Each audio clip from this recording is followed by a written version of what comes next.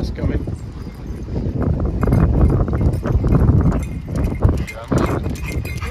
In your own time, boy.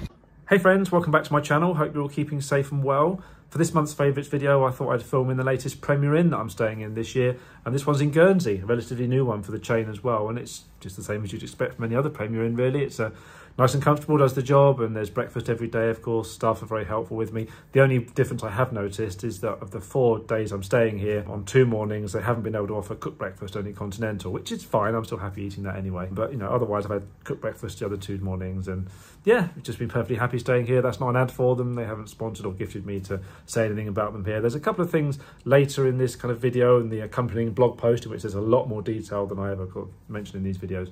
Um, there's a couple of things that have been paid for, um, not to mention here, but I will mention the fact that I've been paid for them anyway, just for transparency. But yeah, Premier Inn here in Guernsey is perfectly nice, and it's been lovely to see my friend over here. It's been five years since I visited the island. Not five years since I've seen him, because he's been over to the UK since then, but five years since I've been to the island. So it's been lovely to come back and look around again. And yeah, I've had a lovely time. We had a pizza and poker night um, with my mate and some of his mates from the island. Some of them I hadn't seen for a long time as well. So it's nice to get all together again and have some food and drink and card games and just lots of banter and laughs. It was a great night, really. And then on another night, my best mate and I went to his local bar for their Halloween quiz night, and we won amazingly, just the two of us against five other teams. Some of them were like teams of four and three, but as a two-hander, we managed to win somehow. And we did win a few raffle prizes as well, which I gave to him. There's nothing there that I wanted. So yeah, we did well that night, and we enjoyed that. My friend's also got a guide dog as well, who is absolutely adorable. Absolutely love him, and he's very happy with me as well. He loves the attention and everything, and he's very hardworking. They're amazing animals, guide dogs. So yeah, on one morning, my mate and his guide dog met up with a friend and their dog, not a guide dog, just an ordinary dog in that case, and went for a free run. We took them uh, along to a nice grassy area by the coast and they had a good free run together, the two dogs. So that was lovely. And we've taken the guide dog out for some other walks as well, of course. He goes out for a walk every day. And yeah, we've had some nice meals out as well. Myself and my mate uh, went to a place called Moores in St. Peter Port, which is a hotel. They've got a lovely restaurant. And we had a lovely Sunday lunch, a nice bit of sirloin in there. Massive dinner it was. Two nice big pieces of sirloin and a huge Yorkshire pudding and roast potatoes and you know, all that jazz. That was very, very nice. And it's a four course meal for twenty four ninety five. So we had four courses all together. Lovely, very, very filling. And we also went to Hotel Jerbourg on another day as well, where we also had a lovely meal. We had chicken tikka masala on that particular day with uh, rice and two big slices of naan bread and then we had a lovely uh, crumble for dessert as well. We got lots of lovely cakes in there. So yeah, we've done all that stuff and had little walks around as well. And yeah, it's just been lovely to just see him again and just relax, you know, and get away to somewhere like this. It's um, a lovely place, Guernsey. In terms of other places, I've been to Brighton as well this month. My aunt took me down there for a day trip to show me around because she likes to visit the place quite a lot. I have been there a long, long time ago when I was a kid, but I don't really remember it. So it's nice to go down there with her. She was able to show me how easy it is to get there from London Bridge and then some of the things you can see. Only kind of scratching the surface. There's loads going on there. I was aware it was a very vibrant place, but uh, nice to actually see it and see how busy it was even in the middle of the week. So yeah, I'm going to have to go down there for perhaps a weekend or something, just having a more thorough look around. But yeah, we had a little walk along the coast and up and down the pier and stuff like that and saw some of the shops and things and had a nice uh, toasted sandwich in Marks and Spencer's. So yeah, that was a nice day out as well. That was good. I've also been out to the Wellcome Collection for the opening of their new exhibition in plain sight. Now I was paid for taking part in the focus group for that exhibition, but um, they haven't paid me to mention anything. But it is a good exhibition. It's all about sight and vision, how it's been interpreted in the past and how it might be interpreted in the future and everything like AI and stuff like that. So yeah, there's lots of artworks in there and there's some films to watch and there's glasses and medical equipment as well because it is a medical museum and yeah, there's lots of interesting bits and pieces in there and there's also an audio guide as well. You can scan a QR code with your phone when you go in there or you can pick up one of their devices, which we had trouble with on the opening night when we went there, but I'm sure they'll get that fixed. And there's also a large print guide as well. There's also a British Sign Language guide as well, which again you can get on the website as well via that QR code on the wall. And there's also a nice tactile pathway on the floor as well that you can go around the exhibition with following. And there's stops along the way on that tactile path where you can listen to the relevant audio description tracks or the British Sign Language tracks. So yeah, it's um, really nice and accessible. It's very interesting. It's well worth a look. It took me a good couple of hours or so to get around it because I got quite absorbed in it. So that was good. So I enjoyed that. In terms of something else I was paid for as well, I'm a member of a research panel for a company called Open Inclusion, and they uh, look at making various things accessible. You know, various companies can come to them and say, "Hey, can we talk to some of your panel about their feedback on making things accessible. So I've already uh, spoken to representatives of a major broadcaster about their online video player. I was able to get some feedback on some of their prototypes for that. That was a couple of months ago, which I've since been paid for. And I've also been paid for the research I did this month, which was into virtual reality games, which was uh, very, very interesting. Never played VR games before. I wasn't sure if I'd get motion sickness or be able to see what I'm doing or anything like that. And yes, there was accessibility issues in terms of how well I could see things, but it wasn't as bad as I thought it was going to be. And once I got the hang of things, you know, the researcher pointed out one or two things that I couldn't quite find, yeah, I actually got quite into them. This wasn't for one particular developer, it was just a general kind of overview to try and create general guidance on accessibility, just like you have WCAG guidelines for websites that you know determine how you can make websites accessible. There isn't anything like that for kind of VR and augmented reality AR games. So they're just trying to put together suggested guidelines for that. So that was very interesting and yeah there's no motion sickness or anything because we only had short sessions on the games so that was really fun it was really interesting. So i'm looking forward to seeing if open inclusion send any more things my way like that. And then something else i've been paid for is from a local support group where i live in east london called enabled living and they've been doing a campaign on alt text whereby you add descriptions to your images on social media on websites and things. So i made a few videos for them which you can find on their twitter feed. I've put them in my blog post as well. So they pay me for filming those videos and they also paid me for my input into the design of the campaign to begin with as well. They consulted me on a few ideas they had. So yeah, that was very kind of them to do that. I've also been involved in a campaign for the RNIB, which is unpaid, but I'm perfectly happy to support them because they do a lot of good work. And this is see the person, not the sight loss, basically. So don't just see us as people who have a disability.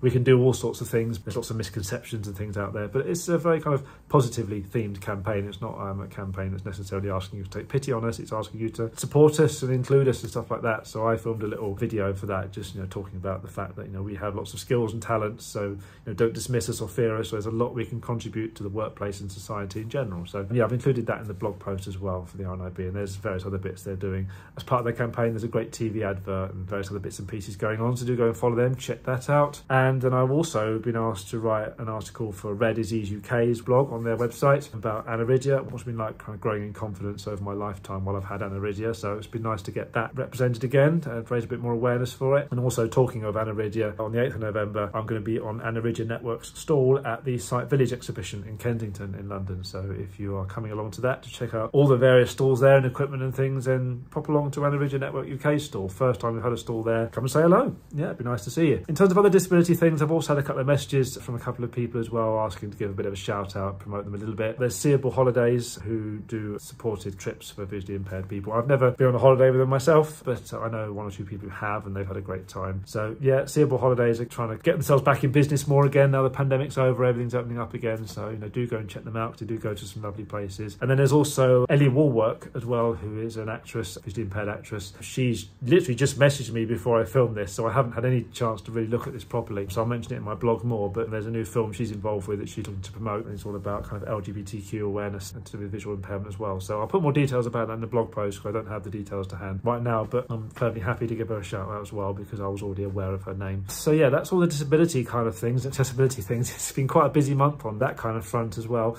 In terms of going out to do other things as well, though, I've also seen a couple of stand-up comedians as well. I've seen Dara Ó Briain at the Hammersmith Apollo. Very, very good, of course. Great to see him live in person for the first time. Very funny show. And I've also seen Maisie Adam live as well at the Leicester Square Theatre. And she's relatively new on the circuit. She came to my attention on Mock the Week. And this is why I'm kind of sad Mock the Week is ending because Maisie Adam and Dara Ó Briain and so many other people, I've got into them because Mock the Week. It's been a great vehicle for new stand-up comics and even some established stand-up comics that I hadn't really known about before. I know there are shows like Live at the Apollo and stuff, but the thing about Mock the Week was they could get into like topical banter as well as doing mini kind of scripted routines as well, you know, in that Wheel of news round they do. And there's also the improvisation with scenes you like to see and various bits and pieces. It gave a good rounded picture of kind of what they like to kind of banter with as well as all their scripted material. They can improvise a bit and stuff like that. So it's a great shame Mock the Week's ending because they're not going to have that exposure as much now, which is a shame. But yeah, Maisie Adam is very, very good. And this is her first big proper tour. She's had a couple of little shows in previous years, like the Edinburgh Fringe, little venues and things. But this is her first big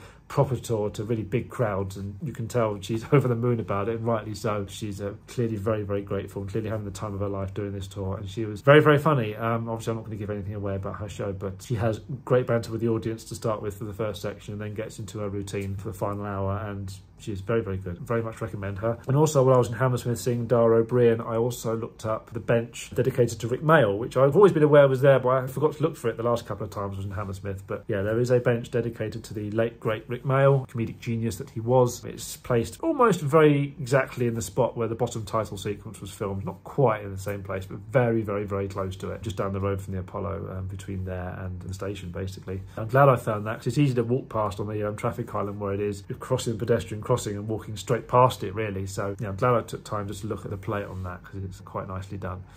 In terms of watching other things, there's not really else to mention on the comedy front on the TV. I did see Friday Night Live, which is kind of just a one-off special of the show from the 80s where they had lots of comedians doing different things. So Ben Elton was there and Harry Enfield and Jo Brand, Julian Clary, and there were some new modern ones as well. It was okay. I mean, there wasn't anything particularly special in there. It was nice to see kind of Ben Elton and Harry Enfield in that back again. They're past their peak, but it was nice to see them on the telly doing a bit again. Wasn't really particularly bothered about the new comedians. Rosie Jones was all right, of course. Um, she represented disability very, very well. But yeah, I wasn't too bothered about the others, but then that's the nature of shows like that. But it was nice to see it back. And talking of alternative comedy as well, I am well aware that there is now a 40th anniversary Blu-ray for The Young Ones coming out soon. So I'm really looking forward to. It's been remastered apparently, and there's loads of new extra features on there, including new audio commentaries and various other bits and pieces, which looks really, really cool. So I'm looking forward to getting that. And then also in terms of other things, I've been watching Doctor Who, of course, The Power of the Doctor, the centenary special for the BBC Again, very enjoyable. It's nice to see some of the old doctors in there from the classic era, which of course you had to do because being the centenary special, you had to represent the BBC's history anyway. So you had some of the old doctors and a few old companions as well popping up. And I haven't seen many episodes from the classic era, but I was well aware of who people like Ace and Tegan were. So it was still nice to see them anyway. And then of course at the end we had that big twist with Jodie regenerating into David Tennant. We knew David Tennant was coming back along with Catherine Tate because they were doing public filming. They had no choice but to announce it because it would have been obvious. But it wasn't quite clear how they were going to be involved. It could have been just a multi-doctor story with a parallel universe thing or a timeline or whatever. But no, he is actually the 14th Doctor for a few specials next year before the next guy takes over. So that's going to be very interesting to see how they explain that. And Russell T Davies is back at the helm as showrunner, which is fantastic. Chris Chibnall's been good. I think it's taken perhaps a season or two for Chris Chibnall and Jodie Whittaker to really settle into what really works best. But it's still been good fun all the way. I think Jodie Whittaker's been a good Doctor. And she's had that good kind of fun side to her. A lot of it's been quite light-hearted and enjoyable, and yet she can still do the heavier drama, the emotion when it counts, which is great. And she and Yaz had a lovely moment together at the end before she regenerated, which was lovely. So yeah, I'm looking forward to see where Doctor Who goes next for its 60th anniversary specials with David Tennant next year, and then we move on to another new era with a new Doctor. And then in terms of music, Queen have released a new song this month called Face It Alone. This is a song that they've kind of rescued from their session tapes for the Miracle album and re-engineered and everything, so it sounds really nice and know, Freddie Mercury sounds great as always. You know, it's not one of their best songs ever by any means, but it's still pretty good, and it's nice to have it kind of resurrected and everything. And this is from their upcoming box set for the Miracle album, which is going to have a lot of session tracks and videos and various other extras on it, which I'm really looking forward to. I've um, already pre-ordered that, so that'll be good. And then in terms of another box set, the Beatles have released their latest Super Deluxe edition, this time for their Revolver album, and there's again various session tracks on there as well. However, I haven't bought it yet because because uh, the price is too high. I think, and many other people online seem to think, for what you get this time, because the price is higher than for previous box sets, but you don't get a Blu-ray audio disc this time, and there's a CD, there's an EP with just four tracks on it, which could easily fit on one of the other discs, really, so it's a bit of a waste of a disc. And yeah, the price is just far too high really compared to previous sets and what you get in it. So I'm going to hold back until it comes down in price. It's not an urgent thing to get it really, but it would be nice to get it just to add it to all the other sets, but just not yet. But I have bought the Blu-ray of their Get Back documentary that Peter Jackson did for Disney Plus. It did come out earlier in the year, but it then went out of stock very, very quickly because it was so popular. So I just held back until it got re-released again. It's very, very good. There's no extra features in the uh, Blu-ray set, but there are four kind of art cards, which basically postcards with photos of each of the band members on. So that's what makes it a collector's edition, which I don't think really qualifies it for that title. But I'm just glad to have the documentary anyway in a physical form. It's nice to have a DVD of that. So that's it really in terms of what I've been getting up to and enjoying during the month. It's been a very busy month, as you can see. There's a lot more detail on the blog post, as I say, um, in terms of all this kind of stuff. So do go and check that out for a lot more. Um, I've also been doing other stuff on my blog as well, as you may have noticed. I uh, published a couple of posts about Derren Brown's TV shows and specials and televised stage shows that he's done because I decided to binge watch all his stuff after seeing him live because I enjoyed his live show and it was nice to revisit a lot of his TV shows, some of which I hadn't seen uh, for quite some time. So they've been quite long posts, but it's been uh, nice to kind of go through everything like that. And I've also finished my journal archive post as well. Back in uh, lockdown, uh, the first lockdown, I started sharing uh, posts from my old journals as far back as 2002 when I was at university and first started keeping a diary. Um, not really expecting anyone to be interested, and I didn't think it would be something that I would keep doing, but it has persisted because people have actually enjoyed um, looking back at what I used to do in the past. So I've now completed posting everything from 2002 up to 2016, um, which basically brings it up to the point where I then moved to London, which is then when I really started getting into blogging about what I was doing in London. Um, although I am going to be posting some stuff about 2017 as well, because although I did share some of the stuff I got up to in 2017, I didn't kind of write about everything because I wasn't really sure kind of what to write about. I was still kind of getting used to kind of what writing style to have and kind of you know how much to share and I wasn't sure how many people would be interested so it wasn't really until 2018 that I started doing monthly favourites posts like this kind of thing so I'm going to kind of go back and I'm going to write proper uh, monthly favourites post to 2017 to kind of bridge that gap between 2016 and 2018 and make everything consistent. Um, so that's not going to be immediate. Um, I've, I've, got to do a bit of work before I can post that. But um, yeah, that's my next kind of little project, a slightly smaller project than, than all those uh, journal entries I did. Um, but yeah, if you've been reading through the journal post, then thank you for doing that. I'm glad you found it interesting. It's been great for me to look back at all that stuff as well, to go through my old diaries. It's been uh, very, very interesting. It's reminded me of a few things that I'd forgotten about and yeah, it's just been good. So I've enjoyed that. And yeah, I've got a few bits and pieces booked up for November and December as well already. So the day after I get back from Guernsey, I'm seeing another show. Um, this Guernsey trip was slotted in perfectly between Maisie Adam and this other show. Um, so I'm really looking forward to seeing that. But I'll tell you about that in my November favourites video because that show falls in November. Um, I'm also going to see a couple of shows in another town outside London that I haven't visited before. Um, so I'm really looking forward to going there and seeing you know the place itself as well as the shows I'm going to see. Um, and then I'm also going to be at the Sight Village exhibition, of course, as I mentioned earlier. Come and see us for that on the Anna Network stand where I'm going to be um, helping out. And then in December, uh, my best mate from here in Guernsey, who I've been seeing, and his wife are coming over to London. We're going to all see a show together, so that's going to be lovely.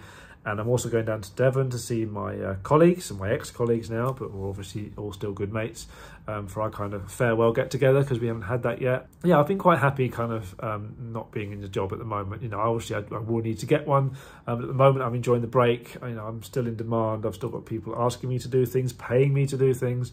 You know, I'm still able to go out and meet friends and stuff. So, you know, I haven't just been cast aside like some soggy tissue or something. You know, I'm still in demand. I'm still wanted. You know, I'm still respected and everything. So, you know, I've been able to do things. I've been able to top up my CV with the voluntary work I've been doing and projects and things. And yeah, just keep myself occupied and just do some things I enjoy, you know, in, during the week as well as at weekends. It's kind of been nice to have that extra freedom really and get some bits and pieces done at home as well. So yeah, it's been nice to have the free time. I think perhaps more in the new year, I'll kind of look more deeply into kind of the next steps in my career. There's no immediate rush on it because, if I say financially, we're comfortable and I'm still keeping myself busy with various projects as well as hobbies and things like that. So I'm happy, I'm doing well. Um, I know a lot of other people are struggling with cost of living and everything else going on in the world right now. So um, if you need support at the moment, I hope you're able to get it because there is support out there. It's not always obvious where it is, I know. Um, but there is help you can get, so please do seek it out and get whatever help you need, and I hope everything works out for you. But yeah, um, for me, that is it. Basically, that's all I have to mention for this month. Um, so Again, there'll be a few more bits and pieces to mention for my next video. But yeah, do go and check out the blog post in relation to this for more detail and keep an eye on my blog for various other bits and pieces too. And I will see you for another video very soon. Take care of yourselves. Bye for now.